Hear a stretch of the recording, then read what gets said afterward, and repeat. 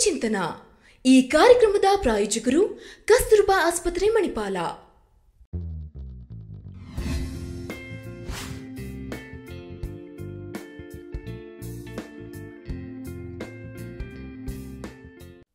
ನಮಸ್ಕಾರ ವೀಕ್ಷಕರೇ. ಕಸ್ತೂರ್ಬಾ ಆಸ್ಪತ್ರೆ ಮಣಿಪಾಲ್ ಅರ್ಪಿಸುವ ಆರೋಗ್ಯ ಚಿಂತನಾ ಕಾರ್ಯಕ್ರಮಕ್ಕೆ ತಮಗೆಲ್ಲರಿಗೂ ಕೂಡ ಪ್ರೀತಿಯ ಸ್ವಾಗತ.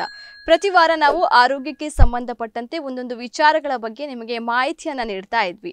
ಅದೇ ರೀತಿ ಇವತ್ತಿನ ಸಂಚಿಕೆಯಲ್ಲಿ ನಾವು ಕಾಮನ್ ಮೆಂಟಲ್ ಡಿಸಾರ್ಡರ್ಸ್ ಇದ್ರ ಬಗ್ಗೆ ಸಂಪೂರ್ಣವಾದ ಮಾಹಿತಿಯನ್ನು ನಿಮಗೆ ನೀಡ್ತಾ ಹೋಗ್ತೇವೆ.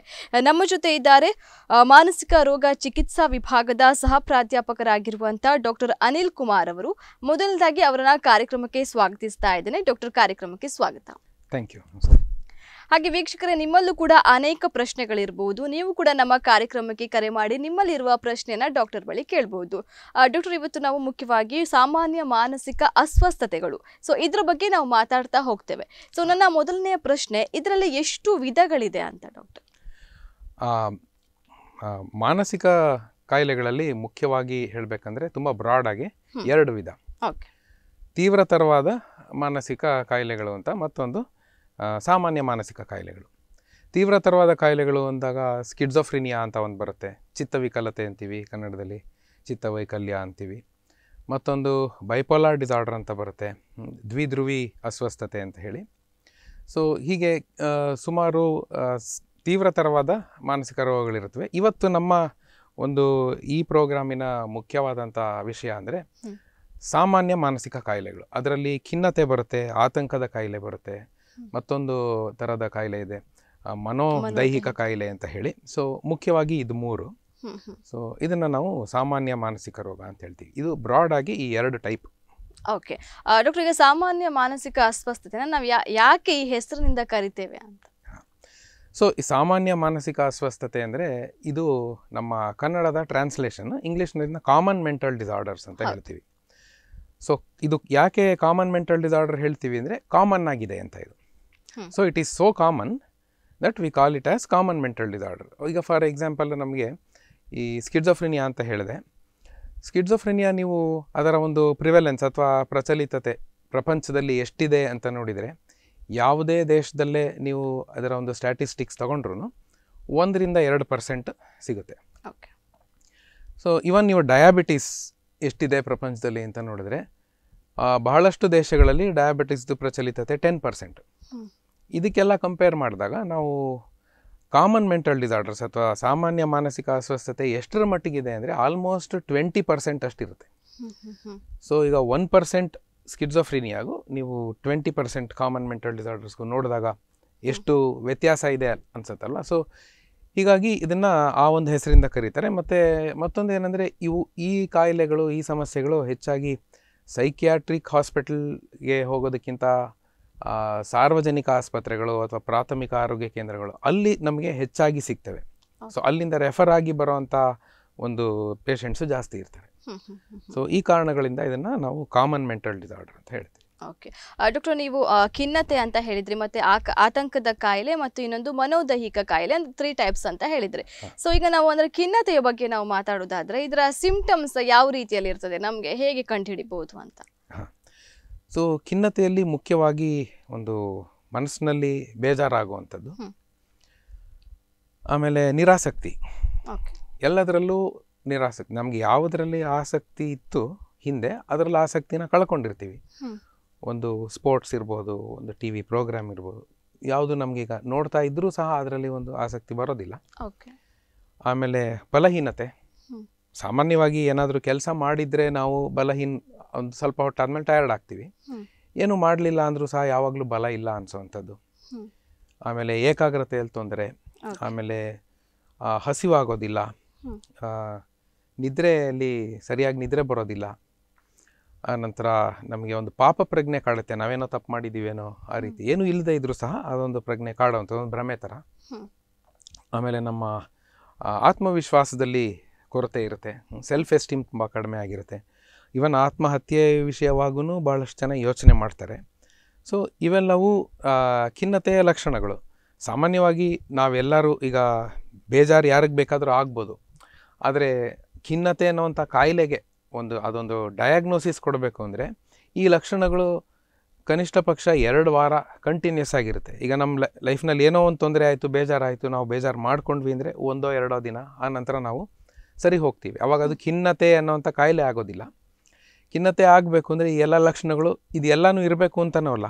ಕೆಲವೊಂದು, ಇಷ್ಟು ಹೇಳಿದ ಲಕ್ಷಣಗಳಲ್ಲಿ ಒಂದು ಎರಡು, ಮೂರು ಲಕ್ಷಣಗಳು ಕ, ಕನಿಷ್ಠ ಪಕ್ಷ ಎರಡು ವಾರದವರೆಗೂ ಕಂಟಿನ್ಯೂಸ್ ಆಗಿದೆ ಅಂದರೆ ಅವಾಗ ಆ ಡಯಾಗ್ನೋಸಿಸ್ ಬರುತ್ತೆ. ಆದರೆ ಈ ಖಿನ್ನತೆ ವಿಷಯದಲ್ಲಿ ಹೇಳುವಾಗ ಇದರಲ್ಲಿ ಮತ್ತೆ ಎರಡು ಥರ ಇದೆ. ಮೈಲ್ಡ್ ಸಿವಿಯರ್ ಅಂತ. ಸೊ ಯಾವುದು ಮೈಲ್ಡ್ ರೂಪದಲ್ಲಿ ಇರುತ್ತೆ ಸಣ್ಣ ಪ್ರಮಾಣದಲ್ಲಿ ಅದನ್ನು ಮಾತ್ರ ನಾವು ಕಾಮನ್ ಮೆಂಟಲ್ ಡಿಸಾರ್ಡರ್ಸಲ್ಲಿ ನೋಡ್ತೀವಿ. ಯಾರಿಗೆ ಆತ್ಮಹತ್ಯೆಯ ವಿಚಾರವಾಗೆಲ್ಲ ಯೋಚನೆ ಮಾಡ್ತಾ ಇದ್ದಾರೆ ಮತ್ತು ಪ್ರಯತ್ನವೂ ಪಟ್ಟಿದ್ದಾರೆ ಅಂದಾಗ ಅಷ್ಟು ತೀವ್ರತೆಗೆ ಹೋಗಿದ್ದಂಥ ಒಂದು ಖಿನ್ನತೆನ ನಾವು ಸಿವಿಯರ್ ಮೆಂಟಲ್ ಡಿಸಾರ್ಡ್ರಾಗಿ ನೋಡ್ತೀವಿ. ಬಟ್ ಹೆಚ್ಚು ಪಾಲು ನಾವು ನೋಡೋ ಅಂಥದ್ದು ಈ ಡಿಪ್ರೆಷನ್ನಲ್ಲೂ ಈ ಮೈಲ್ಡ್ ಫಾರ್ಮೇನೆ ಹಾಗಾಗಿ ಅದು ಬಹಳಷ್ಟು ಖಿನ್ನತೆಯ ಕಾಯಿಲೆಗಳು ಕಾಮನ್ ಮೆಂಟಲ್ ಡಿಸಾರ್ಡರ್ ಅಡಿಯಲ್ಲಿ ಬರ್ತವೆ ಸೊ ಇವು ಒಂದು ಸಂಕ್ಷಿ ಸಂಕ್ಷಿಪ್ತವಾಗಿ ಹೇಳಬೇಕಂದ್ರೆ ಖಿನ್ನತೆಯ ಲಕ್ಷಣಗಳು. ಓಕೆ ಈ ಖಿನ್ನತೆಗೆ ಕಾರಣ ಏನಿರ್ತದೆ? ಯಾವ ಕಾರಣದಿಂದ ಬರ್ತದೆ ಅಂತ? ಇದರಲ್ಲಿ ಹೇಗೆ ನಾವು ಮೆಡಿಕಲ್ ಟರ್ಮ್ಸಲ್ಲಿ ಹೇಳಬೇಕು ಅಂದರೆ ಒಂದು ಎಕ್ಸೋಜಿನಸ್ ಮತ್ತು ಒಂದು ಎಂಡೋಜಿನಸ್ ಅಂತ ಹೇಳ್ತೀವಿ. ಅಂದರೆ ಎಕ್ಸೋಜಿನಸ್ ಡಿಪ್ರೆಷನ್ ಅಂತ ಅಂದಾಗ ಅದು ಹೊರಗಡೆ ಬಾಹ್ಯವಾಗಿ ಏನೋ ಒಂದು ಕಾರಣದಿಂದ ಬಂದಿರುತ್ತೆ. ನಮ್ಮ ಲೈಫ್ನಲ್ಲಿ ಏನೋ ಒಂದು ತೊಂದರೆಗೊಳಗಾಗಿರ್ತೀವಿ ಯಾರನ್ನ ತುಂಬ ಹತ್ತಿರವಾಗಿರೋರನ್ನ ಕಳ್ಕೊಂಡಿರ್ತೀವಿ. ಸೊ ಈ ರೀತಿ ಏನೋ ಒಂದು ಘಟನೆಯಿಂದಾಗಿ ನಾವು ಜಿಗುಪ್ಸೆ ಹೊಂದಿರೋವಂಥದ್ದು ಎಕ್ಸೋಜಿನಸ್. ಎಂಡೋಜಿನಸ್ ಅಂದರೆ ಏನೂ ಆಗಿರಬೇಕಂತಿಲ್ಲ. ನಮ್ಮ ಬ್ರೈನ ಒಳಗಡೆನೇ ಆ ರೀತಿ ಒಂದು ನ್ಯೂನತೆ ಇರುತ್ತೆ. ಆ ನ್ಯೂನತೆಯಿಂದಾಗಿ ನಾವು ಕೆಲವೊಂದು ಕೆಲವೊಂದ್ಸಲಿ ಡಿಪ್ರೆಷನ್ಗೆ ಒಳಗಾಗ್ತೀವಿ ಹ್ಮ್. ಸೊ ಹೀಗೆ ಕಾರಣ ಇದ್ದು ಬರ್ಬೋದು ಇಲ್ಲದೇನೂ ಬರ್ಬೋದು. ಓಕೆ ಡಾಕ್ಟರ್ ಈಗ ಆತಂಕದ ಕಾಯಿಲೆಯ ಸಿಂಪ್ಟಮ್ಸ್ ಹೇಗಿರ್ತದೆ ಅಂತ. ಸೊ ಆತಂಕದ ಕಾಯಿಲೆಗಳಲ್ಲಿ ಈಗೇನು ಮುಖ್ಯವಾಗಿ ಒಂದು ಎರಡು ಮೂರು ಥರದ್ದಿದೆ ಒಂದು ಫೋಬಿಯಾ ಅಂತ ಹೇಳ್ತೀವಿ. ಫೋಬಿಯಾ ಅಂದರೆ ಸಿಂಪಲ್ ಆಗಿ ಕನ್ನಡದಲ್ಲಿ ಭಯ ಅಂತ. ಅಂದರೆ ಎಲ್ಲರಿಗೂ ಭಯ ಆಗೋದು ಸಹಜ. ಆದರೆ ಯಾವ ವಿಷಯಕ್ಕೆ ನಾವು ಭಯ ಪಟ್ಕೋತೀವಿ ಅದು ಮುಖ್ಯ. ಈಗ ಒಂದು ಸಣ್ಣ ಪ್ರಾಣಿಗಳಿಗೆ ಆಗೋವಂಥ ಭಯ ಏನಿದೆ? ಒಂದು ಪಲ್ಲಿ ಇರ್ಬೋದು ಇಲಿ ಇರ್ಬೋದು ಈ ಥರದ ಪ್ರಾಣಿಗಳಿಗೂ ಯಾರು ಬಹಳಷ್ಟು ಹೆದರ್ಕೊಂಡು ಅದನ್ನು ನೋಡ್ಲಿಕ್ಕೆ ಸಹ ಆಗೋದಿಲ್ಲ. ಆ ಸ್ಥಳದಲ್ಲೇ ಅವರು ಇರಲಿಕ್ಕಾಗಲ್ಲ. ಅದನ್ನು ನೋಡ್ತಾ ಇದ್ದರೆ ಅವರ ಹೃದಯದ ಬಡಿತ ಜಾಸ್ತಿ ಆಗುತ್ತೆ. ಈ ರೀತಿ ಆಗುವಂಥ ಒಂದು ಇರ್ರ್ಯಾಷನಲ್ ಫಿಯರ್ ಏನಿದೆ ಅದನ್ನು ಫೋಬಿಯಾ ಅಂತ ಹೇಳ್ತೀವಿ. ಅದು ಬರೀ ಪ್ರಾಣಿಗಳಿಗೆ ಆಗಬೇಕಂತಿಲ್ಲ. ಕೆಲವೊಂದು ವಸ್ತುಗಳಿಗೂ ಆಗ್ಬೋದು ಅಥವಾ ಕೆಲವೊಂದು ಸನ್ನಿವೇಶಗಳಿಗಾಗ್ಬೋದು ಕೆಲವರು ಮದುವೆ ಇತ್ಯಾದಿ ಸಮಾರಂಭಗಳಿಗೆ ಹೋಗಲ್ಲ. ಯಾಕೆಂದರೆ ಅವ್ರಿಗಲ್ಲಿ ಅಲ್ಲೊಂದು ಕೀಳರಿಮೆ ನನ್ನನ್ನು ಜನಗಳು ನೋಡಿ ಅಪಹಾಸ್ಯ ಮಾಡ್ತಾರೆ ಅನ್ನೋವಂಥ ಭಯ ಇರುತ್ತೆ. ಅದು ಒಂದು ಟೈಪ್ ಫೋಬಿಯಾ. ಸ್ಟೇಜ್ ಫಿಯರ್ ಇರುತ್ತೆ. ನಾನು ಮಾತಾಡಿದರೆ ಎಲ್ಲಿ ನನ್ನ ನೋಡಿ ಜನ ಹಾಸ್ಯ ಮಾಡ್ತಾರೋ ಅಂತ. ಮತ್ತು ಇನ್ನು ಕೆಲವರಿಗೆ ಒಬ್ಬರೇ ಇರಲಿಕ್ಕಾಗಲ್ಲ. ಸೊ ಯಾರಾದರೂ ಜೊತೆಯಲ್ಲಿರಬೇಕು ಸೊ ಇದೊಂದು ಅಗೋರಾ ಫೋಬಿಯಾ ಅಂತ ಹೇಳಿ. ಹೀಗೆ ಫೋಬಿಯಾಗಳು ಒಂದು ಗ್ರೂಪ್ ಆದರೆ. ಪ್ಯಾನಿಕ್ ಡಿಸಾರ್ಡರ್ ಅಂತ ಒಂದಿದೆ. ಪ್ಯಾನಿಕ್ ಡಿಸಾರ್ಡ್ರಲ್ಲಿ ಏನು ಕಾರಣ ಇರೋದಿಲ್ಲ. ಸಡನ್ನಾಗಿ ಅವ್ರಿಗೆ ಒಂದು ಹಾರ್ಟ್ ಬೀಟ್ ಜಾಸ್ತಿ ಆಗುತ್ತೆ. ಆ ಟೈಮ್ನಲ್ಲಿ ಉಸಿರು ಸರಿಯಾಗಿ ಆಡಲಿಕ್ಕಾಗಲ್ಲ ಮೈಯೆಲ್ಲ ಬೆವತ್ತು ಬಿಡುತ್ತೆ. ಕೈ ಕಾಲು ಥರ ಥರ ನಡುಗುತ್ತೆ. ನನಗೇನೋ ಆಗೋಯ್ತೇನೋ ಈಗ ನಾನು ಉಳಿಯೋದಿಲ್ವೇನೋ ನನಗೆ ಹಾರ್ಟ್ ಅಟ್ಯಾಕೇ ಆಗೋಯ್ತೇನೋ ಅನ್ನೋ ರೀತಿಯಲ್ಲಿ ಒಂದು ದಿಗ್ಭ್ರಮೆ ಉಂಟಾಗುತ್ತೆ. ಈ ಥರ ಬರುವಂಥ ಕಾಯಿಲೆಗೆ ಪ್ಯಾನಿಕ್ ಡಿಸಾರ್ಡರ್ ಅಂತ ಹೇಳ್ತೀವಿ. ಒಂದು ಕಾಲು ಗಂಟೆ ಹತ್ತು ನಿಮಿಷ ಇಪ್ಪತ್ತು ನಿಮಿಷ ಈ ಒಂದು ಲಕ್ಷಣಗಳು ಇರಬಹುದು ಆ ನಂತರ ಅದು ಹೋಗುತ್ತೆ. ತಾನಾಗೆ ಹೋಗುತ್ತೆ. ಬಟ್ ಅವರಿಗೆ ಒಂದು ಭಯ ಉಳಿಯುತ್ತೆ. ಏನಂದರೆ ಓ ತಿರ್ಗಾ ಈ ರೀತಿ ನಂಗೆ ಆಗ್ಬೋದೇನೋ ಅನ್ನೋಂಥ ಹ್ಮ್. ಆ ಭಯ ಯಾವಾಗಲೂ ಇರುತ್ತೆ. ಮತ್ತು ಆ ಭಯಕ್ಕೆ ತಕ್ಕಂಗೆ ಅವರಿಗೆ ಆಗಾಗ ಬರ್ತಾನೂ ಇರುತ್ತೆ ಅದು ಓಕೆ ತಿಂಗಳಿಗೊಂದ್ಸಲಿ ಬರ್ಬೋದು ವಾರಕ್ಕೊಂದ್ಸಲಿ ಬರ್ಬೋದು. ಸೊ ಹೀಗೆ ಪುನಃ ಪುನಃ ಬರೋವಂಥ ಒಂದು ತೀವ್ರವಾದಂಥ ಆ್ಯಂಗ್ಸೈಟಿ ಏನು ಒಂದು ಎಪಿಸೋಡಲ್ಲಿ ಬರುತ್ತೆ. ಅದನ್ನು ಪ್ಯಾನಿಕ್ ಡಿಸಾರ್ಡರ್ ಅಂತ ಹೇಳ್ತೀವಿ. ಮೂರನೇದು ಜನರಲೈಸ್ಡ್ ಆ್ಯಂಗ್ಸೈಟಿ ಡಿಸಾರ್ಡರ್ ಅಂತ. ಅದರಲ್ಲಿ ಒಂದು ಸಣ್ಣ ಪ್ರಮಾಣದಂಥ ಒಂದು ನೆಗೆಟಿವಿಟಿ ಒಂದು ವರಿ ಒಂದು ಚಿಂತೆ ಏನೋ ಆಗುತ್ತೇನೋ ನಾಳೆ ಏನು ಸರಿ ಹೋಗಲ್ವೇನೋ ನನಗೇನು ಪ್ರಾಬ್ಲಮ್ ಏನೋ ನನ್ನ ಯಾವ ಪ್ರಾಬ್ಲಮ್ಗಳು ಸರಿ ಹೋಗೋದಿಲ್ವೇನೋ ನಾಳೆ ನಾನು ಸಕ್ಸಸ್ ಆಗೋದಿಲ್ವೇನೋ. ಈ ರೀತಿ ಒಂದು ವರೀಸ್ ಅದು ಯಾವಾಗಲೂ ಮನಸ್ಸಲ್ಲಿರುತ್ತೆ ಅದು ಟ್ವೆಂಟಿ ಫೋರ್ ಅವರ್ಸು ಇರ್ಬೋದು ಹೋಲ್ ಇಯರು ಇರ್ಬೋದು. ಸೊ ಇದನ್ನು ನಾವು ಜನರಲೈಸ್ಡ್ ಆ್ಯಂಗ್ಸೈಟಿ ಡಿಸಾರ್ಡರ್ ಅಂತ ಹೇಳ್ತೀವಿ. ಇವುಗಳು ಕ ಸಾಮಾನ್ಯವಾಗಿ ಕಾಮನ್ ಆಗಿ ಬರುವಂಥ ಆತಂಕದ ಕಾಯಿಲೆಗಳು. ಓಕೆ ಡಾಕ್ಟರ್ ಇನ್ನು ಮನೋದೈಹಿಕ ಕಾಯಿಲೆಯ ಲಕ್ಷಣ ಯಾವ ರೀತಿಯಲ್ಲಿ ಇರ್ತದೆ? ಇದು ಒಂದು ವಿಚಿತ್ರವಾದಂಥ ಒಂದು ಟ್ರಿಕ್ಕಿ ಕಾಯಿಲೆ ಅಂತಲೇ ಹೇಳ್ಬೋದು. ನೋಡಿ ಇದಕ್ಕೆ ಎಗೇನ್ ಇದು ಕನ್ನಡದ ಅನುವಾದ. ಬಹಳಷ್ಟು ಸೈಕ್ಯಾಟ್ರಿಕ್ ಪ್ರಾಬ್ಲಮ್ಸಲ್ಲಿ ಅಥವಾ ಮೆಡಿಕಲ್ ಪ್ರಾಬ್ಲಮ್ಸಲ್ಲಿ ಕನ್ನಡದ ಪದಗಳು ಅಷ್ಟು ಜನಪ್ರಿಯತೆ ಹೊಂದಿರೋದಿಲ್ಲ. ಸೊ ಇದು ಆ್ಯಕ್ಚುಲಿ ಇಂಗ್ಲೀಷ್ನಲ್ಲಿ ನಾವು ಸೊಮ್ಯಾಟೊ ಫಾರ್ಮ್ ಡಿಸಾರ್ಡರ್ ಅಂತ ಹೇಳ್ತೀವಿ. ಸೋಮ ಅಂದರೆ ಅದು ಗ್ರೀಕ್ನಲ್ಲಿ ಬಾಡಿ ಅಂತ. ಫಾರಮ್ ಅಂದರೆ ಬಾಡಿಯ ರೀತಿ ಇರೋವಂಥದ್ದು ಅಂತ. ಅಂದರೆ ಯಾವ ಕಾಯಿಲೆ ಶರೀರದ ಕಾಯಿಲೆ ರೀತಿ ಇದೆ. ಆದರೆ ಶರೀರದ ಕಾಯಿಲೆ ಅಲ್ಲ. ಓಕೆ. ಇಲ್ಲಿ ನಾವು ಮನೋದೈಹಿಕ ಅಂದರೆ ಇದು ಕಾಯಿಲೆ ಮನಸ್ಸಿಂದು ಆದರೆ ಅದು ಹೊರಹೊಮ್ಮುತ್ತಾ ಇರೋದು ಶರೀರದಿಂದ. ಈಗ ಫಾರ್ ಎಕ್ಸಾಂಪಲ್ ಒಬ್ಬರು ಡಾಕ್ಟರ್ ಹತ್ರ ಹೋಗಿ ನನಗೆ ತುಂಬ ಹೊಟ್ಟೆ ನೋವಿದೆ ಅಂತ ಹೇಳ್ಬೋದು. ಅವರ ಹೊಟ್ಟೆ ನೋವನ್ನ ನೀವು ಕುಲಂಕುಷವಾಗಿ ನೋಡಿದಾಗ ಹೊಟ್ಟೆಯಲ್ಲಿ ಏನು ಸಮಸ್ಯೆ ಇರೋದಿಲ್ಲ. ಯಾವುದೇ ಥರದ ಟೆಸ್ಟ್ ಮಾಡಿದ್ರು ಇನ್ನು ಕೆಲವರು ಬೇರೆ ರೀತಿ ಬಾಧೆಯಿಂದ ಹೋಗ್ಬೋದು. ನನಗೆ ಎದೆ ನೋವಿದೆ ಅಂತ ಹೇಳ್ಬೋದು. ಮೈಕೈ ಸುಸ್ತಾಗುತ್ತೆ ಅಂತ ಹೇಳ್ಬೋದು. ಉಸಿರಾಡ್ಲಿಕ್ಕೆ ಆಗ್ತಿಲ್ಲ ಅಂತ ಹೇಳ್ಬೋದು. ಆ ಏನು ಒಂದು ಸಿಮ್ಟಮ್ನಿಂದ ಹೋಗ್ತಾರೆ ಆ ಪರ್ಟಿಕ್ಯುಲರ್ ಸಿಮ್ಟಮ್ಗೆ ಎಲ್ಲ ಟೆಸ್ಟ್ಗಳು ಮಾಡಿ ಇವ್ಯಾಲ್ಯೂಯೇಟ್ ಮಾಡಿ ನೋಡಿದರೆ ಅಲ್ಲಿ ಏನೂ ಸಿಗೋದಿಲ್ಲ. ಬಟ್ ಅವ್ರಿಗೆ ಆ ಒಂದು ಪ್ರಾಬ್ಲಮ್ಮು ಅವ್ರಿಗೆ ಮಾತ್ರ ಇರುತ್ತೆ. ಈ ಥರ ಆದಾಗ ಪ್ರಾಬ್ಲಮ್ ಆ್ಯಕ್ಚುಲಿ ಇರೋದು ಮನಸ್ಸಿನಲ್ಲಿ ಆದರೆ ಅದು ಅವರಿಗೆ ವ್ಯಕ್ತಪಡಿಸ್ತಾ ಇರೋದು ಅವರದನ್ನ ಶರೀರದಲ್ಲಿ ಅಂತ. ಇಂಥದ್ದನ್ನು ಮನೋದೈಹಿಕ ಕಾಯಿಲೆ ಅಂತ ಹೇಳ್ತಾರೆ. ಡಾಕ್ಟರ್ ನೀವು ಖಿನ್ನತೆಯ ಲಕ್ಷಣದ ಬಗ್ಗೆ ಹೇಳಿದ್ರಿ. ಇದಕ್ಕೆ ಚಿಕಿತ್ಸೆ ಯಾವ ರೀತಿಯಲ್ಲಿ ಇರ್ತದೆ ಅಂತ? ಸೊ ಖಿನ್ನತೆಗೆ ಇವತ್ತಿನ ದಿನ ಭಾಳಷ್ಟು ರೀತಿಯ ಚಿಕಿತ್ಸೆಗಳುಂಟು. ಮುಖ್ಯವಾಗಿ ಮೆಡಿಸನ್ ಕೊಡ್ತೀವಿ ಆ್ಯಂಟಿ ಡಿಪ್ರೆಸೆಂಟ್ ಅಂತ ಹೇಳ್ತೀವಿ. ಆದರೆ ಈ ಮೆಡಿಸನ್ನ ಶುರು ಮಾಡೋದಕ್ಕೆ ಮುಂಚೆ ಖಿನ್ನತೆ ಯಾವಾಗ ಮೈಲ್ಡ್ ಒಂದು ತುಂಬ ಸಣ್ಣ ಸ್ವರೂಪದಲ್ಲಿದೆ ಅಂತ ಅನಿಸುತ್ತೋ ಆವಾಗ ಲೈಫ್ ಸ್ಟೈಲ್ ಮಾಡಿಫಿಕೇಷನ್ ಬಗ್ಗೆ ಹೇಳ್ತೀವಿ. ಅಂದರೆ ಅವರ ಹಿಸ್ಟ್ರಿಯನ್ನು ನಾವು ಡೀಟೇಲ್ ಆಗಿ ತಿಳ್ಕೊಂಡಾಗ ಅವರಲ್ಲಿ ಏನು ಒಂದು ಲೈಫ್ ಸ್ಟೈಲ್ನಲ್ಲಿ ಕೊರತೆಗಳಿದೆ ಕೆಲವರು ಹೆವಿ ಸ್ಮೋಕರ್ ಆಗಿರ್ಬೋದು. ಅಥವಾ ಎವ್ರಿಡೇ ಡ್ರಿಂಕ್ಸ್ ಮಾಡೋವಂಥವ್ರು ಆಗಿರ್ಬೋದು. ಅವುಗಳು ಸಹ ನಮ್ಮ ಬಾಡಿಯಲ್ಲಿ ಒಂದು ಕೆಮಿಕಲ್ ಚೇಂಜಸ್ನ ಇಂಡ್ಯೂಸ್ ಮಾಡಿ ಡಿಪ್ರೆಷನ್ನ ಉಂಟು ಮಾಡುವಂಥ ಒಂದು ಕಾರಣ ಕಾ- ಕಾರಣವಾಗಿರುವಂಥ ಪರಿಸ್ಥಿತಿಗಳಿರುತ್ತೆ. ಹಾಗಾಗಿ ಅದನ್ನು ಚೇಂಜ್ ಮಾಡ್ಕೊಳ್ಳಿಕ್ಕೆ ಮತ್ತು ಕೆಲವರು ಎಕ್ಸಸೈಸ್ ಮಾಡೋದಿಲ್ಲ. ಎಕ್ಸಸೈಸ್ ಇಲ್ಲದೆ ಇರೋವಾಗ ನಮ್ಮಲ್ಲಿ ಇವನ್ ಕೆಲವೊಂದು ಹಾರ್ಮೋನ್ಗಳು ಏನಿದೆ ಟೆಸ್ಟೋಸ್ಟ್ರೋನ್ ಇಂಥ ಹಾರ್ಮೋನ್ಗಳು ನಾವು ಎಕ್ಸಸೈಸ್ ಮಾಡಿದಾಗ ಅದು ಸ್ವಲ್ಪ ಹೆಚ್ಚಿನ ಪ್ರಮಾಣ ಎಷ್ಟು ಒಂದು ಬೇಕು ಆಪ್ಟಿಮಲ್ ಪ್ರಮಾಣ ಅದರಲ್ಲಿದ್ದಾಗ ನಮ್ಮ ಬಾಡಿಯಲ್ಲಿ ಒಂದು ಖುಷಿ ಇರುತ್ತೆ. ಸೊ ಹಾಗಾಗಿ ಅವರಿಗೆ ಮೋಟಿವೇಟ್ ಮಾಡ್ತೀವಿ ಎಕ್ಸಸೈಸ್ ಮಾಡೋದಕ್ಕೆ. ಅಥವಾ ಅವರು ತುಂಬ ಡಯಟ್ನಲ್ಲಿ ಏನಾದ್ರು ಪ್ರಾಬ್ಲಮ್ ಇದ್ದರೆ ಅದನ್ನು ಕರೆಕ್ಟ್ ಮಾಡ್ಕೊಳ್ಳೋಕೆ ಹೇಳ್ತೀವಿ. ಇದು ಲೈಫ್ ಸ್ಟೈಲ್ ಮಾಡಿಫಿಕೇಷನ್ ಅಂತ ಇದರಲ್ಲಿ ಗುಣ ಆಗದೆ ಇರೋವಂಥ ಒಂದು ಡಿಪ್ರೆಷನ್ ಆದರೆ ದೆನ್ ವಾಕ್ ಚಿಕಿತ್ಸೆ ಅಂತ ಹೇಳ್ತೀವಿ ಅಂದರೆ ಸೈಕೋಥೆರಪಿ ಅಂತ. ಸಾಮಾನ್ಯವಾಗಿ ಡಿಪ್ರೆಷನ್ ಈಗ ನೀವು ಕೇಳಿದ್ರಿ ಕಾರಣ. ಏನಿರ್ಬೋದು ಅಂತ. ನಮ್ಮ ಜೀವನ ಶೈಲಿಯಲ್ಲಿ ಚಿಕ್ಕ ವಯಸ್ಸಿನಲ್ಲಿ ನಾವು ಏನೆಲ್ಲ ಒಂದು ಅನುಭವದಿಂದ ಬಂದಿರ್ತೀವಿ ಆ ಅನುಭವಕ್ಕೆ ತಕ್ಕಂತೆ ನಮ್ಮ ಅಡಲ್ಟ್ಹುಡ್ಡಲ್ಲೂ ನಾವು ಅದೇ ರೀತಿ ಬೆಳ್ಕೊಂಡು ಹೋಗ್ತೀವಿ. ನಮ್ಮ ಕೆಲವೊಂದು ನೆಗೆಟಿವಿಟಿ ಆಲ್ರೆಡಿ ಚಿಕ್ಕ ವಯಸ್ಸಿನಲ್ಲಿ ಶುರುವಾಗಿದೆ ಅಂದರೆ ನಾವು ಅನುಭವಿಸಿದಂಥ ಘಟ ಘಟನೆಗಳಿಂದ ನಾವು ವಯಸ್ಕರಾದ್ಮೇಲೂ ಎಲ್ಲ ಲೈಫಿನ ಎಲ್ಲ ಹಂತದಲ್ಲೂ ಆ ನೆಗೆಟಿವಿಟಿ ಇಟ್ಕೊಂಡೇ ಬೆಳೆದಾಗ. ನಮ್ಮಲ್ಲಿ ಡಿಪ್ರೆಷನ್ನು ಬರೋವಂಥ ಒಂದು ಚಾನ್ಸಸ್ ಜಾಸ್ತಿ ಆಗುತ್ತೆ ಹಾಗೆ ಬಂದಾಗ ಈಗ ವಾಕ್ ಚಿಕಿತ್ಸೆನಲ್ಲಿ ನಾವು ಅವರಿಗೆ ಅವರ ಒಂದು ಕೂಲಂಕುಷವಾಗಿ ಅವರ ಮನಸ್ಥಿತಿಯನ್ನು ಪರಿಚಯ ನಾವು ತಿಳ್ಕೊಂಡಾಗ ಅವ್ರಿಗೆ ಹೇಳ್ತೀವಿ ಏನು ಈ ರೀತಿ ನಿಮ್ಮ ಚಿಕ್ಕ ವಯಸ್ಸಿನಲ್ಲಿ ಆದಂಥ ಅನುಭವಗಳೇನಿದೆ ಅದಕ್ಕೂ ಇವಾಗ ನೀವು ಲೀಡ್ ಮಾಡ್ತಿರೋಂಥ ಲೈಫ್ಗೂ ಹೇಗೆ ನಾವು ಅವರ ಸಂಬಂಧ ಕಲ್ಪಿಸ್ಕೊಂಡಿರ್ತಾರೆ ಆದರೆ ಅದು ಸತ್ಯ ಅಲ್ಲ ಅನ್ನೋದನ್ನು ತಿಳಿ ಹೇಳುವಂಥ ಒಂದು ಚಿಕಿತ್ಸೆನ ನಾವು ವಾಕ್ ಚಿಕಿತ್ಸೆ ಸೈಕೋಥೆರಪಿ ಅಂತ ಹೇಳ್ತೀವಿ. So finally medicine anti depressant medication ಅಂತ ಇರುತ್ತೆ.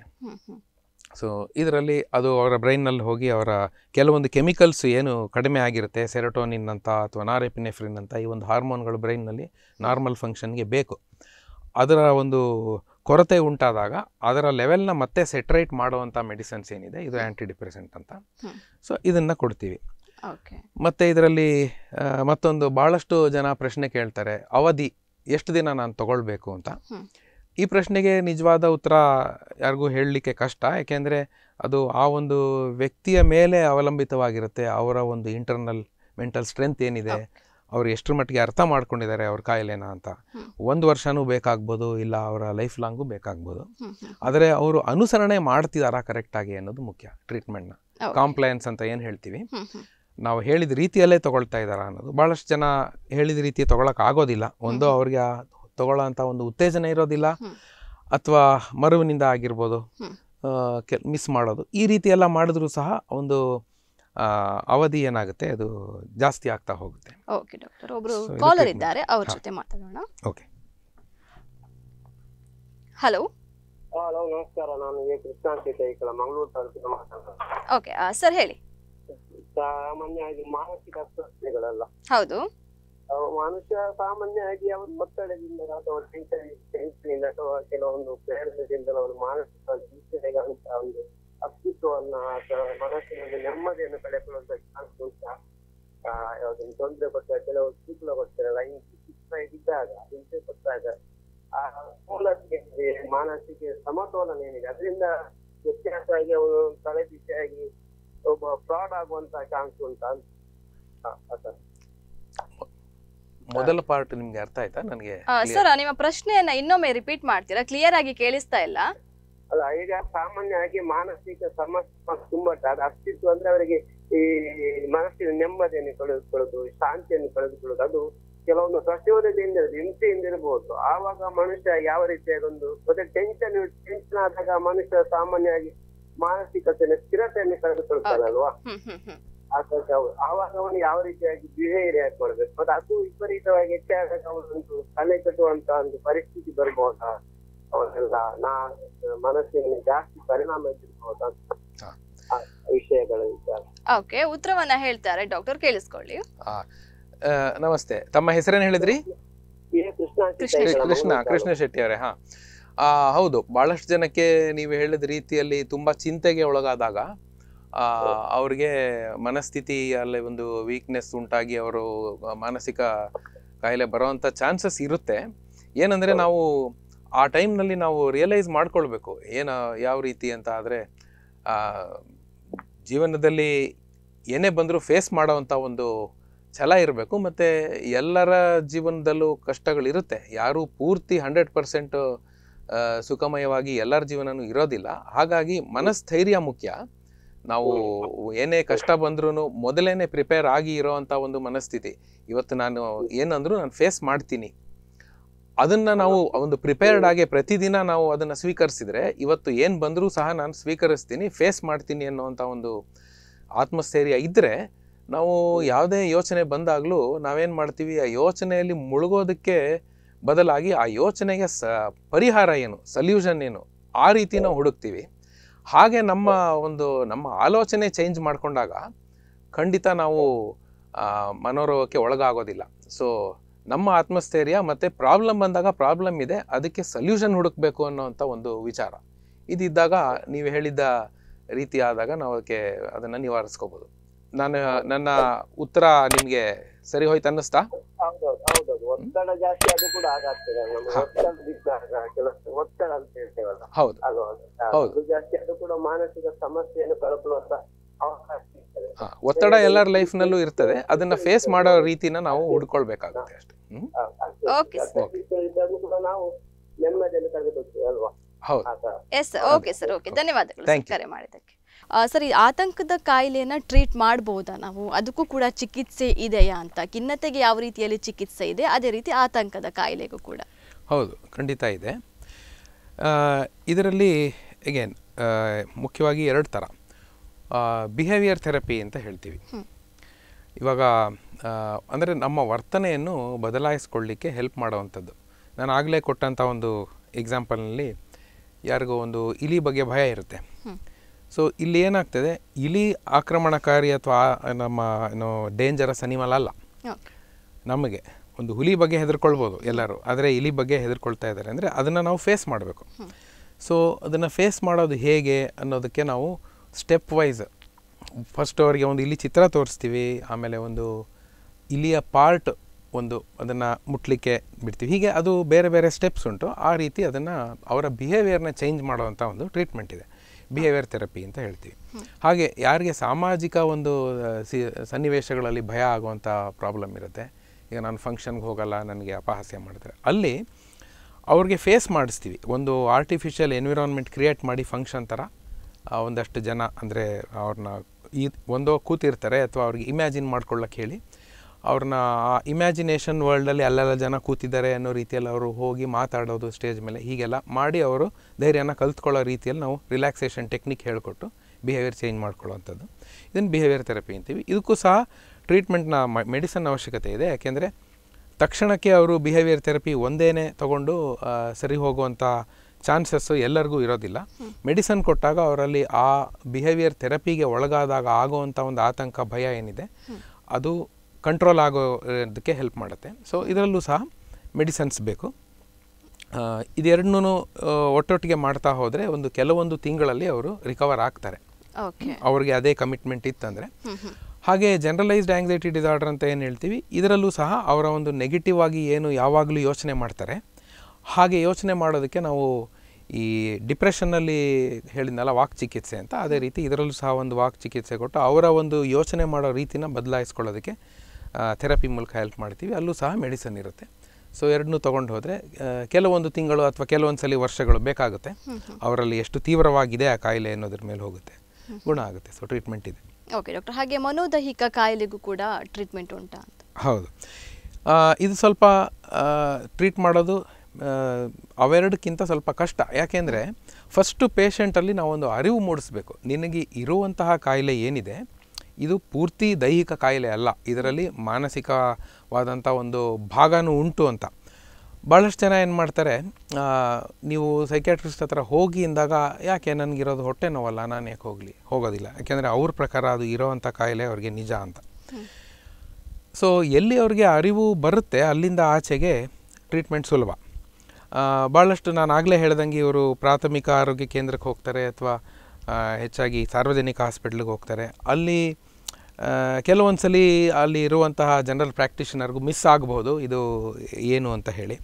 ಸೊ, ಹಾಗಾಗಿ ಅವ್ರಿಗೆ ಕೊಡೋವಂಥ ಟ್ರೀಟ್ಮೆಂಟು ಅವ್ರ ಹೊಟ್ಟೆ ನೋವಿಗೆ ಏನು ಗ್ಯಾಸ್ಟ್ರೈಟಿಸ್ಗೆ ಬೇಕು ಹಾಗೆ ಒಂದು ಟ್ರೀಟ್ಮೆಂಟ್ ಸಿಗ್ತಾ ಇರ್ತದೆ. ಅದು ಗುಣ ಆಗೋದಿಲ್ಲ ಅಂತ ಆದಮೇಲೆ ಅವರಿಗೆ ಕಾಲಾನಂತರ ಒಂದು ಡೌಟ್ ಬಂದು ಕಳಿಸ್ಕೊಡ್ತಾರೆ ಹೀಗೆ ಹೋಗಬೇಕಾಗುತ್ತೆ ನೀವು ಸೈಕ್ಯಾಟ್ರಿಸ್ಟ್ ಹತ್ರ ಅಂತ. ಆವಾಗ ಇವರು ಬಂದರೆ ಅವರ ಟ್ರೀಟ್ಮೆಂಟು ಸುಲಭ ಆಗುತ್ತೆ.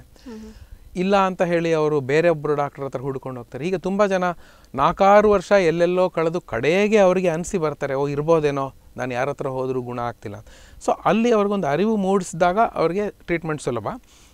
ಕೆಲವೊಬ್ಬರು ಡೈರೆಕ್ಟಾಗಿ ಬರೋವಂಥವ್ರು ಇರ್ತಾರೆ. ಅವ್ರಿಗೆ ಮೆಡಿಸನ್ ಕೊಡ್ತೀವಿ ಸ್ವಲ್ಪ ಅವರ ಒಂದು ಆತಂಕ ಕಡಿಮೆ ಆಗಲಿಕ್ಕೆ ಅಂತ. ಅದಕ್ಕಿಂತ ಹೆಚ್ಚಾಗಿ ಅವ್ರಿಗೂ ಸಹ ಈ ಒಂದು ಚಿಕಿತ್ಸೆ ಏನು ವಾಕ್ ಚಿಕಿತ್ಸೆ ಇದೆ ರಿಯಟ್ರಿಬ್ಯೂಷನ್ ಥೆರಪಿ ಅಂತ ಹೇಳ್ತೀವಿ. ಅದರಲ್ಲಿ ಲಿಂಕ್ ಮಾಡ್ತೀವಿ ಅವರ ಬಾಡಿನ ಮೈಂಡ್ಗೆ ಹೇಗೆ ನಿಮ್ಮಲ್ಲಿ ಆ್ಯಕ್ಚುಲಿ ಬರೋವಂಥ ಫಿಸಿಕಲ್ ಸಿಮ್ಟಮ್ ಏನಿದೆ ಅದು ನಿಮ್ಮ ಮೈಂಡ್ಗೆ ಹೇಗೆ ಲಿಂಕ್ ಆಗಿದೆ ಅನ್ನೋದನ್ನು ಆ ಥೆರಪಿ ಮೂಲಕ ತಿಳಿಸ್ಕೊಟ್ಟಾಗ ಅವರಿಗೆ ಒಂದು ಪೂರ್ತಿ ಒಂದು ಇನ್ಸೈಟ್ ಅನ್ನೋದು ಏನು ಬರುತ್ತೆ ಅವಾಗ ಇದು ಗುಣ ಆಗುತ್ತೆ. ಓಕೆ ಡಾಕ್ಟರ್ ಈಗ ಈ ಮೆಡಿಸಿನ್ಸನ್ನು ಬಿಟ್ಟು ಶಸ್ತ್ರಚಿಕಿತ್ಸೆಯ ಅವಶ್ಯಕತೆ ಏನಾದರೂ ಬರ್ತದಾ? ಏನಾದರೂ ಪರಿಹಾರಗಳಿವೆ ಅಂತ? ಹಾಂ. ಸೊ ಒಳ್ಳೆ ಪ್ರಶ್ನೆ. ಸಾಮಾನ್ಯ ಹೆಚ್ಚಿನ ಮಾನಸಿಕ ಕಾಯಿಲೆಗಳಲ್ಲಿ ಶಸ್ತ್ರಚಿಕಿತ್ಸೆ ಇರೋದಿಲ್ಲ. ಆದರೆ ಹೇಗೆ ನಾವು ಆಧುನಿಕ ಪ್ರಪಂಚ ಬೆಳೀತಾ ಹೋಗ್ತಾ ಇದೆ ಮೆಡಿಕಲ್ ಫೀಲ್ಡೂ ಹಾಗೆ ಅದರಲ್ಲಿ ಆಗುವಂಥ ಸಂಶೋಧನೆಗಳು ಒಂಥರ ಪ್ರೋಗ್ರೆಸ್ ಆಗ್ತಾ ಆಗ್ತಾ ಇವಾಗ ಏನಾಗಿದೆ ನಾವು ನಾನು ಹೇಳಿದಂತಹ ಚಿಕಿತ್ಸೆಗಳನ್ನು ಹೊರತುಪಡಿಸಿ ಇನ್ನೊಂದು ಹೊಸದಾದಂಥ ಒಂದು ಚಿಕಿತ್ಸೆ ಇದೆ. ಇದನ್ನು ನ್ಯೂರೋಮಾಡ್ಯುಲೇಷನ್ ಅಥವಾ ಬ್ರೈನ್ ಸ್ಟಿಮ್ಯುಲೇಷನ್ ಅಂತ ಹೇಳ್ತೀವಿ. ಇಲ್ಲಿ ಏನಾಗುತ್ತೆ ಈಗ ನೋಡಿ ನಾವು ಇಲ್ಲಿ ಚಿತ್ರದಲ್ಲಿ ತೋರಿಸ್ತಾ ಇದ್ದೀವಿ. ಈ ಟ್ರೀಟ್ಮೆಂಟ್ಗೆ ಹೆಸರು ಆರ್ ಟಿ ಎಂ ಎಸ್ ಅಂತ ಅಂದರೆ ರಿಪಿಟೇಟಿವ್ ಟ್ರಾನ್ಸ್ಕ್ರೇನಿಯಲ್ ಮ್ಯಾಗ್ನೆಟಿಕ್ ಸ್ಟಿಮ್ಯುಲೇಷನ್ ಅಂತ. ಅಂದರೆ ಒಂದು ಮ್ಯಾಗ್ನೆಟಿಕ್ ಫೀಲ್ಡ್ನ ಇಂಡ್ಯೂಸ್ ಮಾಡೋದು ಅವರ ಬ್ರೈನ್ ಸುತ್ತಲೂ. ಅದಕ್ಕೆ ಇಂತಿಷ್ಟು ಸಂಖ್ಯೆಯಲ್ಲಿ ನಾವು ಸೆಷನ್ ಅಂತ ಇರುತ್ತೆ. ಒಂದು ಇಪ್ಪತ್ತು ಸೆಷನ್ ತೊಗೊಳ್ಬೇಕು, ಪ್ರತಿಯೊಂದು ಸೆಷನ್ ಒಂದು ಹದಿನೈದು ನಿಮಿಷದ್ದಾಗಿರಬೇಕು, ದಿನಕ್ಕೆ ಒಂದು ಸಲ ಅಥವಾ ದಿನಕ್ಕೆ ಎರಡು ಸಲ ತೊಗೊಳ್ಬೇಕು ಅನ್ನೋ ರೀತಿಯಲ್ಲಿ. ಸೊ ಇದು ಒಂದು ಟ್ರೀಟ್ಮೆಂಟಿನ ವಿಧಾನ. ನ್ಯೂರೋ ಮಾಡ್ಯುಲೇಷನ್ ಟ್ರೀಟ್ಮೆಂಟಲ್ಲಿ ಇದು ಒಂದು ಟೈಪ್ ಇದಕ್ಕೆ ನಾವು ಆರ್ ಟಿ ಎಂ ಎಸ್ ಅಂತೀವಿ. ಇದು ಆರ್ ಟಿ ಎಂ ಎಸ್ನ ಕೊಡುವಂತಹ ಮೆಷಿನ್ ಈಗ ನಾವು ಚಿತ್ರದಲ್ಲಿ ನೋಡ್ತಾ ಇರೋಂಥದ್ದು. ಸೊ ಇದಲ್ಲದೆ ಇನ್ನೊಂದಿದೆ. ಟಿ ಡಿ ಸಿ ಎಸ್ ಅಂತ ಹೇಳ್ತೀವಿ. ಇದು ನೋಡಿ, ಇದು ಟಿ ಡಿ ಸಿ ಎಸ್ನ ಕೊಡುವಂತಹ machine T D C S ಅಂದರೆ ಡೈರೆಕ್ಟ್ ಕರೆಂಟ್ ಸ್ಟಿಮ್ಯುಲೇಷನ್ ಅಂತ. Transcranial direct current stimulation so ಇದರಲ್ಲಿ ಕರೆಂಟ್ ಒಂದು ಮೈಲ್ಡ್ ಫಾರ್ಮ್ನಲ್ಲಿ ಅವರ ಕ, ತಲೆಗೆ ಒಂದು ಕರೆಂಟ್ ಪಾಸ್ ಆಗುತ್ತೆ. ಸೊ ಒಂದು ಮ್ಯಾಗ್ನೆಟಿಕ್ ಫೀಲ್ಡ್ ಇಂಡ್ಯೂಸ್ ಮಾಡುವಂಥದ್ದು, ಇನ್ನೊಂದು ಎಲೆಕ್ಟ್ರಿಸಿಟಿ ಇಂಡ್ಯೂಸ್ ಮಾಡುವಂಥದ್ದು. ಇದರಲ್ಲಿ ಪೇಷಂಟ್ಗೆ ಯಾವುದೇ ರೀತಿ ಹಾನಿಯಾಗಲಿ ಅಥವಾ ನೋವಾಗಲಿ ಆಗೋದಿಲ್ಲ.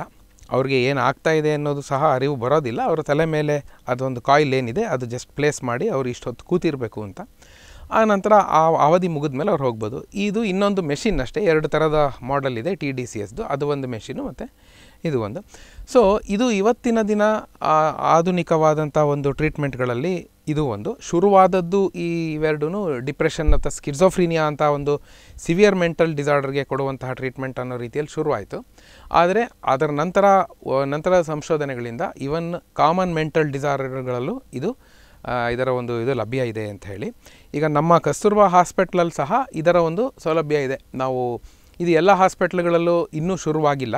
ಕೆಲವೊಂದು ಕಡೆ ಮಾತ್ರ ಅದರಲ್ಲಿ ನಮ್ಮ ಹಾಸ್ಪಿಟಲ್ ಸಹ ಒಂದು. ಅದರಲ್ಲಿ ಎಲ್ಲ ರೀತಿಯ ಮೆಂಟಲ್ ಪ್ರಾಬ್ಲಮ್ಗಳಿಗೆ ನಾವು ನ್ಯೂರೋ ಮಾಡ್ಯುಲೇಷನ್ ಟ್ರೀಟ್ಮೆಂಟ್ ಸಹ ಕೊಡ್ತಾ ಇದ್ದೀವಿ.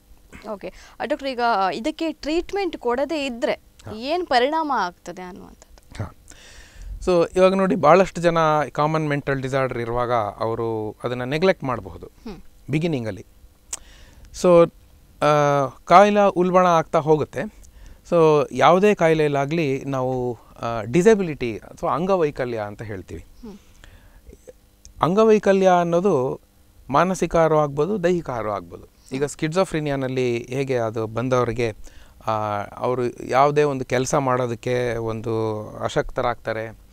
ಅವ್ರಿಗೆ ಅವರ ಒಂದು ಜೀವನನೇ ಪೂರ್ತಿ ಒಂಥರ ಒಂಥರ ಏನು ಒಂದು ಸೆಡೆಂಟರಿಯಾಗಿ ಕಳೀತಾರೆ?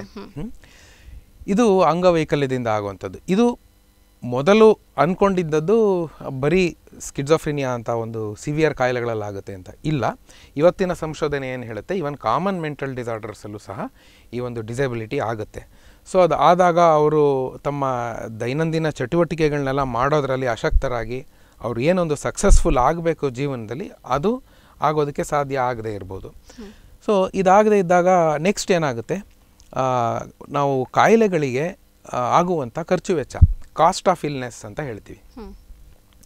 ಈ ಕಾಸ್ಟ್ ಆಫ್ ಇಲ್ನೆಸ್ನಲ್ಲಿ ಎರಡು ಟೈಪು ಡೈರೆಕ್ಟ್ ಇಂಡೈರೆಕ್ಟ್ ಅಂತ. ಡೈರೆಕ್ಟ್ ಅಂದರೆ ಈಗ ಅವ್ರಿಗೆ ಡಾ ಡಾಕ್ಟ್ರ್ ಹತ್ರ ಹೋದಾಗ ಸಂದರ್ಶನಕ್ಕೆ ಆಗುವಂಥ ಫೀಸು ಅಥವಾ ಮೆಡಿಸನ್ ಕೊಡುವಂಥ ಫೀಸು ಈಗ ನೋಡಿ ನಮ್ಮ ಹಾಸ್ಪಿಟ್ಲಿಗೆ ಕಸ್ತೂರ್ಬಾ ಹಾಸ್ಪಿಟ್ಲಿಗೆ ನಾವು ದಾವಣಗೆರೆ ಅಂತ ಎಲ್ಲ ಊರುಗಳಿಂದ ಬರ್ತಾರೆ ಪಾಪ ಪೇಷಂಟ್ಸ್ ಸೊ ಅವರು ಅಲ್ಲಿಂದ ಬರುವಂಥ ಟ್ರಾವೆಲ್ ಕಾಸ್ಟು ಎಷ್ಟೋ ಜನ ಹಿಂದಿನ ದಿನ ಬಂದು ಹೋಟೆಲಲ್ಲಿ ಉಳ್ಕೊಳ್ತಾರೆ. ಅದಕ್ಕಾಗುವಂಥ ಕಾಸ್ಟ್ ಇವೆಲ್ಲ ಏನಾಗುತ್ತೆ? ಡೈರೆಕ್ಟ್ ಕಾಸ್ಟ್ಗಳು ಇದಕ್ಕೆ ಅವರ ಕಾಯಿಲೆಗೆ ಆಗುವಂಥದ್ದು. ಇಂಡೈರೆಕ್ಟ್ ಕಾಸ್ಟ್ ಅಂದರೆ ಈ ಒಂದು ಕಾಯಿಲೆಯಿಂದಾಗಿ ಅವರು ಅಶಕ್ತರಾಗಿ ಟ್ರೀಟ್ಮೆಂಟ್ಗೆ ಐ ಮೀನ್ ಕೆಲಸಗಳಿಗೆ ಹೋಗೋಕ್ಕಾಗೋದಿಲ್ಲ. ನಾಲ್ಕು ವರ್ಷ ಕೆಲಸಕ್ಕೆ ಹೋಗಿಲ್ಲ ಅಂದರೆ ಅವರಿಗೆ ನಾಲ್ಕು ವರ್ಷದ ಸಂಪಾದನೆ ಇರೋದಿಲ್ಲ. ಸೊ ಇದು ಇಂಡೈರೆಕ್ಟಾಗಿ ಅವರ ಇದಕ್ಕೆ ಆಗ್ತಾ ಇರೋವಂಥ ಒಂದು ಎಕನಾಮಿಕ್ ಎಫೆಕ್ಟ್ ಸೊ ಇದು ಇಂಡಿವಿಜುವಲ್ ಅಷ್ಟೇ ಅಲ್ಲ ಅವರ ಸಂಸಾರ ಅದು ಅಷ್ಟೇ ಅಲ್ಲ ಒಂದು ಸಮಾಜ. ನಮ್ಮ ಜಿ ಡಿ ಪಿನಲ್ಲೂ ಅದು ರಿಫ್ಲೆಕ್ಟ್ ಆಗುತ್ತೆ. ಸೊ ಹೀಗೆ ಕಾಸ್ಟ್ ಆಫ್ ಇಲ್ನೆಸ್ ಅನ್ನೋದು ಇನ್ನೊಂದು ಫ್ಯಾಕ್ಟರ್ ನಾವು ಹೆಚ್ಚು ಬೇಗ ಟ್ರೀಟ್ಮೆಂಟ್ ತೊಗೊಳ್ಳಿಲ್ಲ ಅಂದರೆ ಕಾಯಿಲೆ ತೀವ್ರವಾಗಿ ಹೋಗ್ತಾ ಹೋಗ್ತಾ ಅವರ ಕಾಸ್ಟ್ ಆಫ್ ಇಲ್ನೆಸ್ ಸಹ ಹೆಚ್ಚಾಗಿ ಬರ್ಡನ್ ಆಗುತ್ತೆ. ಮೂರನೇದು ನಾವು ವರ್ಕ್ ಪ್ರೊಡಕ್ಟಿವಿಟಿ ಅಂತ ಹೇಳ್ತೀವಿ. ಅಂದರೆ ನಾವು ಕೆಲಸದಲ್ಲಿ ಎಷ್ಟು ಚಾತುರ್ಯತೆ ಇದೆ ಹೇಗೆ ಮಾಡ್ತೀವಿ ಅಂತ ಎಷ್ಟು ಒಳ್ಳೆ ರೀತಿಯಲ್ಲಿ ಕೆಲಸ ಮಾಡ್ತೀವಿ ಅಂತ.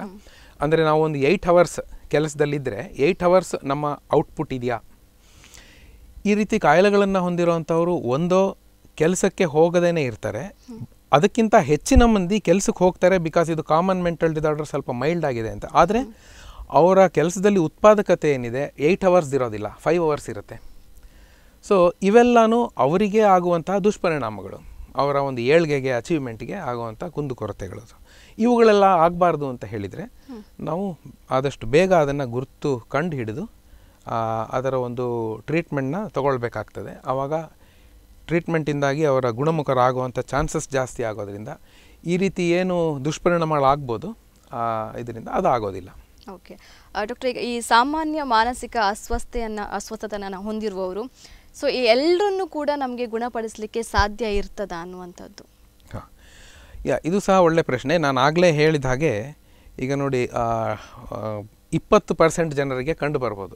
ಪ್ರತಿ ನೂರು ಜನರಲ್ಲಿ ಇಪ್ಪತ್ತು ಜನಕ್ಕೆ ಈ ಕಾಯಿಲೆ ಇರಬಹುದು.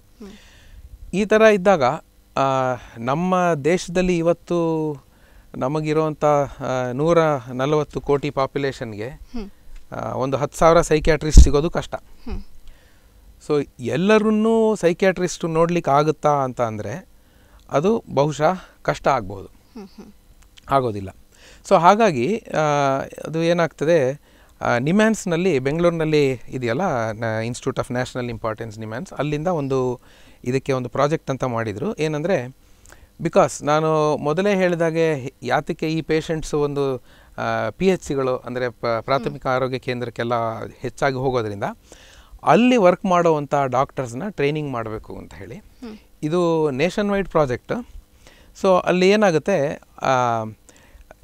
ಆನ್ ಕನ್ಸಲ್ಟೇಷನ್ ಟ್ರೈನಿಂಗ್ ಅಂತ ಕೊಡ್ತಾರೆ. ಸೊ ಸಂದರ್ಶನ ಮಾಡುವ ಟೈಮ್ನಲ್ಲೇ ತರಬೇತಿ. ಮೊದಲಿನ ಪ್ರಾಜೆಕ್ಟಲ್ಲಿ ಅವರಿಗೆ ಥಿಯರಿಟಿಕಲ್ ಆಗಿ ಇದನ್ನು ಓದ್ಕೊಂಡು ಟ್ರೀಟ್ ಮಾಡಿ ಅಂತ ಮಾಡಿದ್ದಂಥ ಒಂದು ಪ್ರೋಗ್ರಾಮ್ ಇತ್ತು. ಅದರಲ್ಲಿ ಅಷ್ಟು ಸಫಲತೆ ಕಾಣದೇ ಇರೋದ್ರಿಂದ ಅವರ ಒಂದು ಕ್ಲಿನಿಕ್ಗಳಿಗೇ ಹೋಗಿ, ಅವರು ಹಾಸ್ಪಿಟ್ಲಲ್ಲಿ, ಅವರು ನೋಡುವಾಗ ಪೇಷೆಂಟ್ಸು ಏನು ಬರ್ತಾರೆ, ಈ ಈ ಸೈಕ್ಯಾಟ್ರಿಕ್ ಪೇಷೆಂಟ್ಸು ಅಲ್ಲೇ ಸಂದರ್ಶನ ವೇಳೆಯಲ್ಲೇ ಅವ್ರಿಗೆ ತರಬೇತಿ ಕೊಡುವಂಥದ್ದು. ಇದು ಈಗಲೂ ಸಹ ನಡೀತಿದೆ. ಸೊ ಇದು ಬಹುಶಃ ನಾವು ವ್ಯಾಪಕವಾಗಿ ಎಲ್ಲ ಕಡೆ ಮಾಡಿದ್ದು ಅಂತ ಆದರೆ ಈ ಕಾಮನ್ ಮೆಂಟಲ್ ಡಿಸಾರ್ಡರ್ಸ್ದು ಒಂದು ಅರಿವು ಏನಿದೆ ಅದು ಅದು ಎಲ್ಲರೂ ಫೆಮಿಲಿಯರ್ ಆಯಿತು ಅಂತಂದರೆ ಎಲ್ಲ ರೀತಿಯ I mean doctors especially the ಇದು ಜನರಲ್ ಪ್ರಾಕ್ಟಿಷನರ್ಸು ಆವಾಗ ನಾವು ತುಂಬ ಎಫೆಕ್ಟಿವ್ ಆಗಿ ಟ್ರೀಟ್ ಮಾಡಬಹುದು. ಇಲ್ಲ ಅಂದರೆ ಮಿಸ್ ಆಗ್ಬೋದು. ಯಾಕೆಂದರೆ ಭಾಳಷ್ಟು ಜನ ಬರೋದಿಲ್ಲ ಸೈಕ್ಯಾಟ್ರಿಸ್ಟ್ ಹತ್ರ. ಎಸ್ಪೆಷಲಿ ಮನೋದೈಹಿಕ ಕಾಯಿಲೆ ಇರೋವಂಥ ಪೇಷಂಟ್ಸ್ ಏನಿದ್ದಾರೆ. ನನಗೆ ಇದರ ಸಮಸ್ಯೆ ಇಲ್ಲ ಅಂಥೇಳಿ ಆದರೆ ಅದೇ ಒಬ್ಬರು ಜನರಲ್ ಪ್ರಾಕ್ಟೀಷನರು ನಿಮಗೆ ಇರುವಂತಹ ಸಮಸ್ಯೆ ಏನಿದೆ ಅದು ಇದು ಅಂತ ಹೇಳಿದಾಗ ಅವರು ಹೆಚ್ಚಿನದಾಗಿ ಸಮ್ಮತಿ ಕೊಡುವಂಥ ಚಾನ್ಸಸ್ ಇರುತ್ತೆ. ಮತ್ತೊಂದಾಗುತ್ತೆ ಡೈರೆಕ್ಟಾಗಿ ಅವ್ರಿಗೆ ಹೇಳಬಾರ್ದು. ನಿಧಾನವಾಗೇ ಹೇಳಬೇಕಾಗುತ್ತೆ. ಈ ಮನೋದೈಹಿಕ ಕಾಯಿಲೆ ಇರೋವಂಥವ್ರಿಗೆ ನಿಮಗೆ ಇದು ಆ್ಯಕ್ಚುಲಿ ಪ್ರಾಬ್ಲಮ್ ಮಾನಸಿಕದೊಂದು. ಮೊದಲೇ ಒಂದೇ ಸಲ ಹೇಳಿದ್ರು ಅವ್ರು ಬರೋದಿಲ್ಲ. ಒಟ್ಟಿನಲ್ಲಿ ಇಲ್ಲಿ ಏನು ಮುಖ್ಯವಾಗಿ ಏನು ಹೇಳಬೇಕಂದ್ರೆ ಜನರಲ್ ಪ್ರಾಕ್ಟೀಷನರ್ಸ್ಗೂ ಸಹ ಇದರ ಒಂದು ಟ್ರೈನಿಂಗ್ ಸಿಕ್ಕಿದ್ದೇ ಆದರೆ ಆವಾಗ ಇಡೀ ದೇಶದಲ್ಲಿ ಎಲ್ಲರಿಗೂ ಟ್ರೀಟ್ಮೆಂಟ್ನ ಸಿಗುವಂಥ ಅವಕಾಶ ಕಲ್ಪಿಸ್ಬೋದು. ಓಕೆ ಈಗಲೂ ಮಾಡ್ತಾ ಇದ್ದೀವಿ ಆದರೆ ಕೆಲವೊಂದು ಮಿಸ್ ಆಗ್ಬೋದು. ಸೊ ಅದು ಸಹ ಕಡಿಮೆ ಆಗುತ್ತೆ. ಓಕೆ ಡಾಕ್ಟರ್ ಕೆಲವರು ಮನೋರೋಗ ಇರುವವರು ಕೆಲವೊಮ್ಮೆ ನಾನು ಸೂಸೈಡ್ ಮಾಡ್ಕೊಳ್ತೇನೆ ಅಂತ ಕೆಲವೊಮ್ಮೆ ಹೆದರಿಸ್ತಿರ್ತಾರೆ. ಅಂದರೆ ಕೆಲವೊಮ್ಮೆ ಹೇಳ್ತಾರೆ ಅಂದರೆ ನಂಗೆ ಆಗ್ತಾ ಇಲ್ಲ ಟೆನ್ಷನಿಂದ ಹೊರಗಡೆ ಬರ್ಲಿಕ್ಕೆ ಆಗ್ತಾ ಇಲ್ಲ ಅಂತ. ಸೊ ಆವಾಗ ಅವರ ಜೊತೆಗೆ ಇದ್ದವರು ಸೊ ಇದನ್ನು ಸೀರಿಯಸ್ ಆಗಿ ತಗೊಳ್ಬೇಕಾಗ್ತದ? ಸೊ ಅವರಿಗೆ ಕೌನ್ಸಲಿಂಗ್ನ ಅವಶ್ಯಕತೆ ಇರ್ತದ ಆ ಟೈಮಲ್ಲಿ ಹೇಗೆ ಡಾಕ್ಟರ್ ಯಾರೇ ಅದು ಒಂದು ಮಾತನ್ನ ಹೇಳಿದ್ರು. ಅದು ಕೆಲವೊಂದು ಹೇಳ್ತೀವಲ್ಲ ಮಿತ್ ಅಂತ. ಅದನ್ನ ಈ ಒಂದು ವಿಷಯದಲ್ಲಿ ನಾವು ಮಿತ್ ಅಂತ ಅನ್ಕೊಳ್ಲಿಕ್ಕೆ ಆಗಲ್ಲ. ಏನು ಆ, ಒಂದು ಇತ್ತು ಆ ಒಂದು ಫಿ- ಒಂದು ಮಿತ್ ಏನಂದರೆ ಯಾರು ಪದೇ ಪದೇ ಹೇಳ್ತಾರೋ ಅವರು ಸಾಯೋದಿಲ್ಲ. ಸಾಯೋರು ಹೇಳೋದಿಲ್ಲ ಅಂತೆಲ್ಲ. ಅದೆಲ್ಲ ಸುಳ್ಳು. ಯಾಕೆಂದರೆ ತುಂಬ ಜನ ಅದನ್ನು ವ್ಯಕ್ತಪಡಿಸ್ಕೊಂಡು ಕೆಲವೊಂದು ದಿನ ಆದ ನಂತರ ಆ ಆ ವ್ಯಕ್ತಪಡಿಸಿದಂಥ ಫೀಲಿಂಗ್ನ ನಿಜ ಮಾಡ್ಕೊಂಡವ್ರು ಇದ್ದಾರೆ ಸೊ ಆ ರೀತಿ ಏನಾದರೂ ಹೇಳಿದ್ದೇ ಆದರೆ ಮನೆಯೊಳಗಡೆ ಬೇರೆಯವ್ರಿಗೆ ಖಂಡಿತ ಅದು ಡಾಕ್ಟ್ರ್ ಗಮನಕ್ಕೆ ತರೋವಂಥದ್ದು ಬಹಳ ಮುಖ್ಯ. ಮನೆಯೊಳಗೆ ಆಗ್ಬೋದು ಅಥವಾ ಕೆಲವರು ಮನೆಯಲ್ಲಿ ಅದನ್ನು ಹೇಳ್ಕೊಳ್ಳೋದಿಲ್ಲ. ಕ್ಲಾಸಲ್ಲಿ ಫ್ರೆಂಡ್ಸ್ ಹತ್ರ ಹೇಳ್ಕೊಳ್ತಾರೆ. ಸೊ ಅಥವಾ ಅವರ ಬೇರೆ ಯಾರು ಕ್ಲೋಸ್ ಇದ್ದಾರೋ ಅವ್ರ ಹತ್ರ ಹೇಳ್ಕೊಳ್ತಾರೆ. ಯಾರಿಗೆ ಹೇಳ್ಕೊಂಡ್ರು ಸಹ ಅದನ್ನು ನಾವು ಗಮನಕ್ಕೆ ತರಬೇಕಾಗುತ್ತೆ. ಇವತ್ತೆಲ್ಲ ಭಾಳಷ್ಟು ಆ್ಯಪ್ಗಳು ಇದೆ. ಯಾರು ಬೇಕಿದ್ರೂ ಆ್ಯಪ್ನ ಯೂಸ್ ಮಾಡ್ಬೋದು. ಈ ಸೂಯಿಸೈಡ್ ರಿಲೇಟೆಡ್ ಆ್ಯಪ್ಗಳಿದೆ. ಸೊ ಅದನ್ನು ನಾವು ಡೌನ್ಲೋಡ್ ಮಾಡ್ಕೊಂಡಿದ್ದೇ ಆದರೆ ಅದರ ಮೂಲಕ ಯಾರಾದರೂ ಹೇಳಿದಾಗ ಆ ಆ ಆ್ಯಪ್ನಲ್ಲಿ ಕೆಲವೊಂದು ಪ್ರಶ್ನೆಗಳು ಬರುತ್ತೆ. ಅದನ್ನು ನಾವು ಕೇಳಿ ಅದ್ರ ಮೂಲಕ ಒಂದು ಸ್ಕೋರಿಂಗ್ ಎಲ್ಲ ಬರುತ್ತೆ. ಓ ಇವ್ರಿಗೆ ಆ್ಯಕ್ಚುಲಿ ಪ್ರಾಬ್ಲಮ್ ಇದೆ ಅನ್ನೋದು ಗೊತ್ತಾಗುತ್ತೆ. ಅದು ಆ್ಯಪ್ ಇರಲಿ ಬಿಡಲಿ ಬಟ್ ಅವರೊಂದು ಫೀಲಿಂಗ್ನ ವ್ಯಕ್ತಪಡಿಸಿದಾಗ ಖಂಡಿತ ಅದನ್ನು ಡಾಕ್ಟರ್ ಗಮನಕ್ಕೆ ತರಬೇಕಾಗುತ್ತೆ. ಹಾಗೆ ಡಾಕ್ಟರ್ ಇನ್ನು ಕೆಲವರು ಮಾನಸಿಕವಾಗಿ ತುಂಬಾ ಕುಗ್ಗಿರ್ತಾರೆ. ಸೊ ಅಂಥವರಿಗೆ ಅವರ ಫ್ರೆಂಡ್ಸ್ ಆಗಿರ್ಬೋದು ಫ್ಯಾಮಿಲಿ ಮೆಂಬರ್ಸ್ ಆಗಿರ್ಬೋದು ಹೇಗೆ ಒಂದು ಸಹಕಾರವನ್ನ ನೀಡಬಹುದು ಅವರನ್ನು ಹಾಸ್ಪಿಟಲ್ಗೆ ಕರ್ಕೊಂಡು ಹೋಗ್ಲಿಕ್ಕೆ ಆಗಿರ್ಬೋದು ಅಥವಾ ಇವರೇ ಒಂದು ಒಂದು ಮಾತನ್ನ ಹೇಳಿ ಸಮಾಧಾನ ಪಡಿಸ್ಲಿಕ್ಕಾಗಿರ್ಬೋದು ಯಾವ ರೀತಿಯಲ್ಲಿ ಸಹಕಾರವನ್ನ ನೀಡಬಹುದು ಡಾಕ್ಟರ್? ಸಮಾಜದವರು ಕೂಡ ಆಗಿರ್ಬೋದು. ಇನ್ನು ಮುಖ್ಯವಾಗಿ ಸಮಾಜದ ಪಾತ್ರ ಎಷ್ಟಿರ್ತದೆ ಇದರಲ್ಲಿ ಅನ್ನುವಂಥದ್ದು. ಈಗ ಸೂಸೈಡ್ ಮಾತ್ರ ನಾವು ಪ್ರಿಡಿಕ್ಟೇ ಮಾಡೋದಕ್ಕಾಗಲ್ಲ. ಭಾಳಷ್ಟು ಜನ ಗೊತ್ತೇ ಇರೋದಿಲ್ಲ ಏನೋ ಜೀವ ಜೀವ ತೆಕ್ಕೊಂಡಿರ್ತಾರೆ. ಸೊ ಹಾಗಾಗಿ ಇದನ್ನು ನೆಗ್ಲೆಕ್ಟ್ ಮಾಡದೇನೆ ಮುಖ್ಯವಾಗಿ ಅವರ ಫೀಲಿಂಗ್ಸ್ನ ಅಕ್ನಾಲೇಜ್ ಮಾಡಬೇಕು. ಭಾಳಷ್ಟು ಜನ ಮೊದಲೇ ಅಡ್ವೈಸ್ ಕೊಡ್ಲಿಕ್ಕೆ ಹೋಗ್ತಾರೆ ಅದು ಹಾಗಲ್ಲ ಹೀಗೆ ಮಾಡು ಇದು ಮಾಡು. ಅದಕ್ಕೆ ಮುಂಚೆ ಫಸ್ಟು ಅಕ್ನಾಲೇಜ್ ಮಾಡಬೇಕು. ಹೌದು ನಿನ್ನಲ್ಲಿ ಈ ಒಂದು ಸಮಸ್ಯೆ ಇದೆ ನಿನಗೆ ಕಷ್ಟ ಆಗ್ತಾ ಇದೆ ಅದನ್ನು ನಾನು ಅರ್ಥಕೊಂಡಿದ್ದೀನಿ ಸೊ ಹಾಗಾಗಿ ನಿನಗೆ ನಾನು ಏನು ಸಹಾಯ ಬೇಕೋ ಕೊಡಲಿಕ್ಕೆ ರೆಡಿ ಇದ್ದೀನಿ, ನಾನಿದ್ದೀನಿ ನಿನ್ನ ನನಗೆ, ನಿನ್ you can depend on me ಅನ್ನೋ ಫೀಲಿಂಗ್ ಮೊದಲೇ ಅಡ್ವೈಸ್ಗಳು ಕೊಡೋಕ್ಕೆ ಹೋದಾಗ ಅವ್ರಿಗೆ ಅಕ್ನಾಲೇಜ್ಮೆಂಟ್ ಸಿಗಲಿಲ್ಲ ಅಂದರೆ, ಅವರು ಫರ್ದರ್ ಹಂಚ್ಕೊಳ್ಳದೆ ಇರಬಹುದು ಅಥವಾ ಅವ್ರನ್ನ ಬಿಟ್ಟು ಬೇರೆಯವ್ರ ಹತ್ರ ಹೇಳ್ಕೊಳ್ಳಿಕ್ಕೆ ಹೋಗ್ಬೋದು. ಸೊ ಪ್ರಾಬ್ಲಮ್ನ ಅಕ್ನಾಲೇಜ್ ಮಾಡಬೇಕಾಗುತ್ತೆ, ಆ ನಂತರ ಸೊಲ್ಯೂಷನ್ಗಳನ್ನ ಕೂತ್ಕೊಂಡು ಡಿಸ್ಕಸ್ ಮಾಡಬೇಕಾಗುತ್ತೆ. ಓಕೆ ಹಾಗೆ ಡಾಕ್ಟರ್ ನಿಮ್ಮ ಡಿಪಾರ್ಟ್ಮೆಂಟ್ ಬಗ್ಗೆ ನಮಗೆ ತಿಳಿಸಿಕೊಡೋದಾದ್ರೆ ಏನು ಹೇಳಲಿಕ್ಕೆ ಇಷ್ಟಪಡ್ತೀರಿ?